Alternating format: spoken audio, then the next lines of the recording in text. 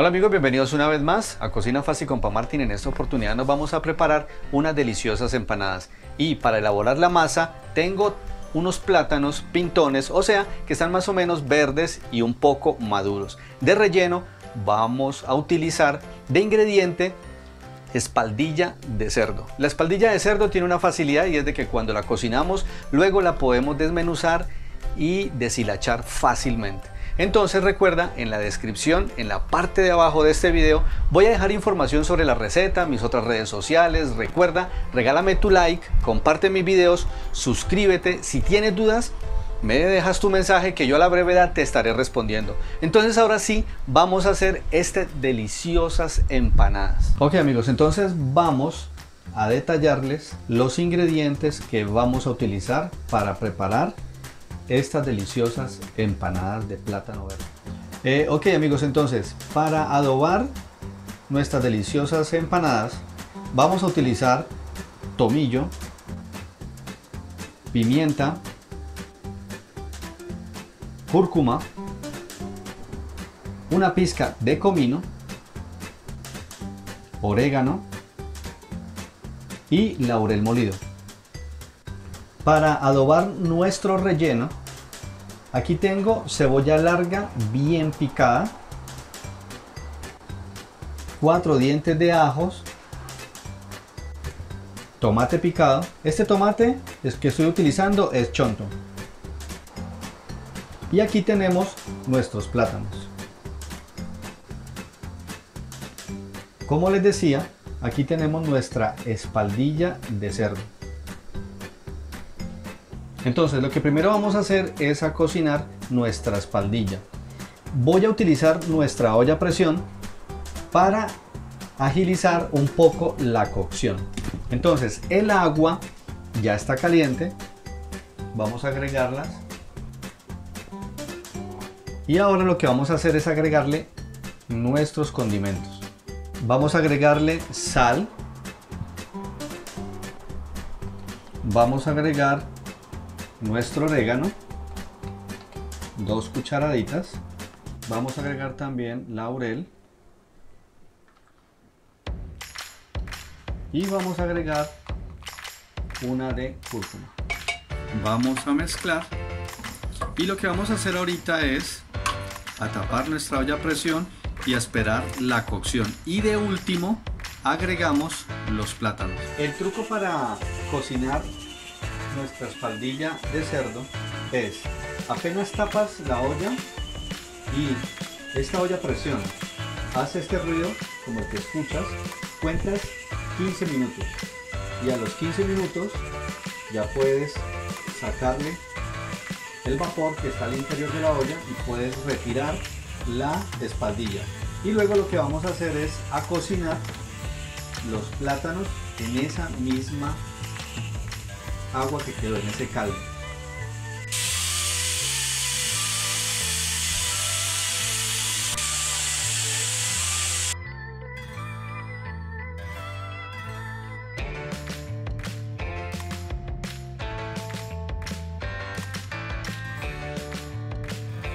Ok, entonces observen, en este caldo vamos a cocinar ahorita nuestros plátanos. Ok, entonces lo que vamos a hacer ahorita es, aquí adelantado un poquito, vamos a deshilachar la espaldilla, mire que es, salen facilito, mire, entonces uno puede ir deshilachando cada pedacito, esto es un trabajo muy muy muy manual, observe que fácilmente salen las tiritas de carne y quedan perfectas para hacer nuestro relleno para las empanadas.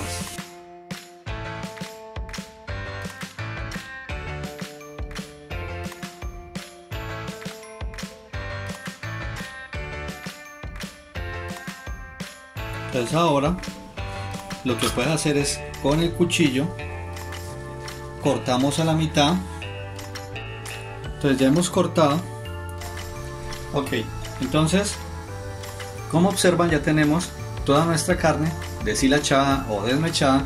Entonces ahora lo que vamos a hacer es el delicioso guiso para adobar esto. Ok, entonces ahora lo que vamos a hacer es hacer nuestro guiso. Vamos a agregar un poco de aceite. Esperamos a que caliente un poco. Ok, vamos a, a sofreír la cebolla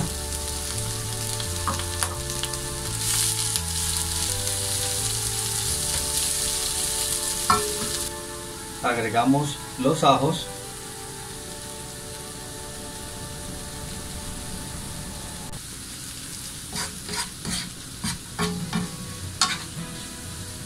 ahora vamos a agregar orégano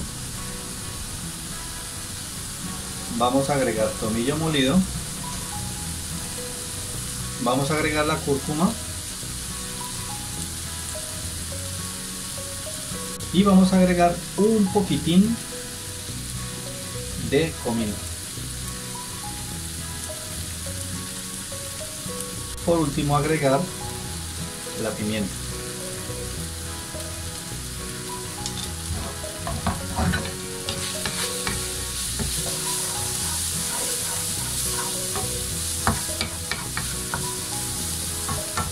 Ahora vamos a agregar el tomate.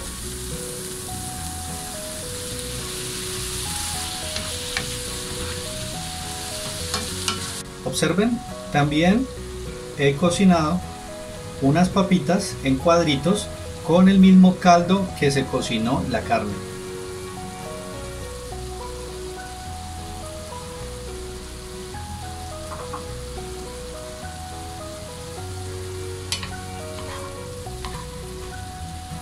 Vamos a mezclar y ahora vamos a agregar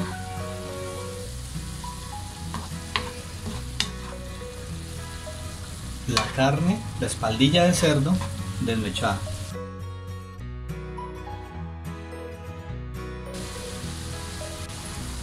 Ahora vamos a mezclar. Ok, entonces ahora le vamos a agregar media taza.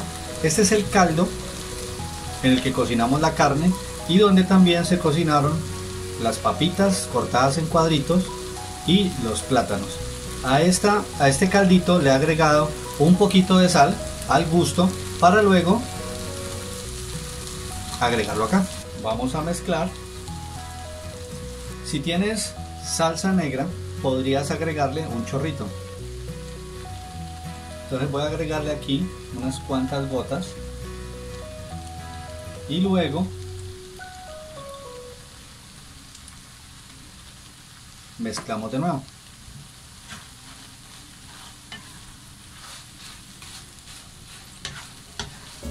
Recuerda que también aquí puedes tomar un pedazo de carne y probarlo. Si sientes que de pronto le hace falta sal, le puedes agregar un poco más.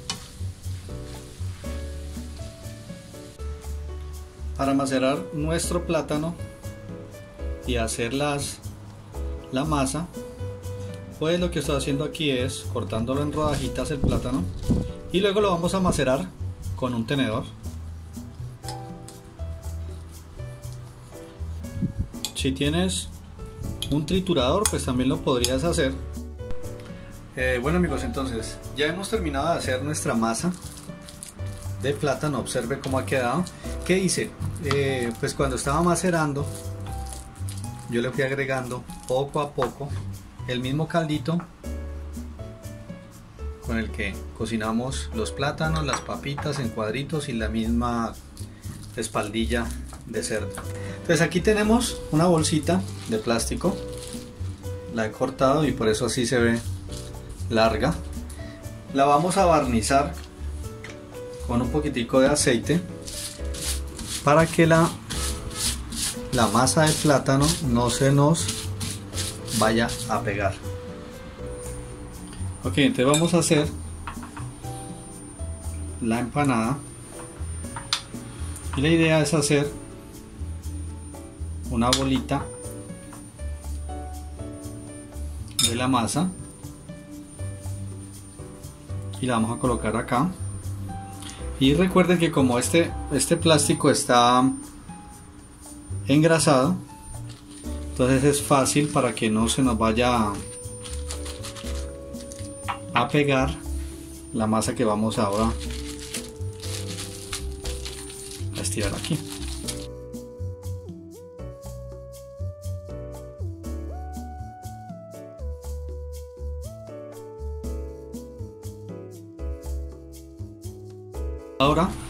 Cuidado, vamos a despegar y vamos a colocar un poquitico de nuestro relleno.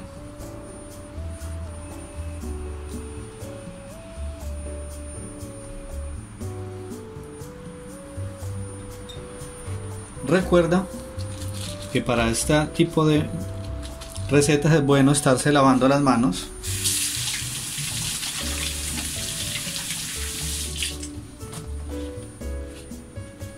Con suficiente jabón y enjuagarse con bastante agua. Ahora vamos a, tapar acá. Y aquí tengo mi horma con la que vamos a hacer la empanada. Y observen la forma de cómo queda y así con el restante lo volvemos a colocar en su lugar. Y aquí ya podemos despegarla y ponerla en un plato.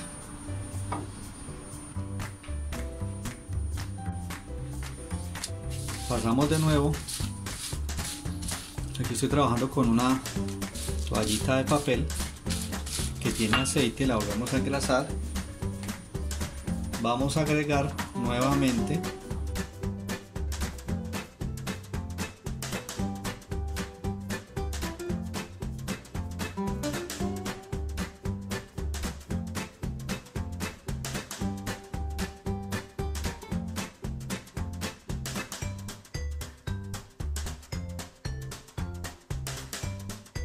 Bueno amigos, entonces para el proceso de fritar nuestras empanadas de plátano, primero que todo debemos cerciorarnos de que el aceite esté bien caliente. Entonces, para validar esta opción, primero pues podemos coger un poquito de la misma masa de plátano que ya tenemos lista y la podemos agregar dentro del aceite que ya está caliente y pues ahí te darás cuenta. Recuerda dependiendo del sartén, pues puedes colocar, como en mi caso, máximo me caben tres. Y las vamos a fritar por lado y lado. Ok amigos, con esto hemos terminado nuestras empanadas. Observen.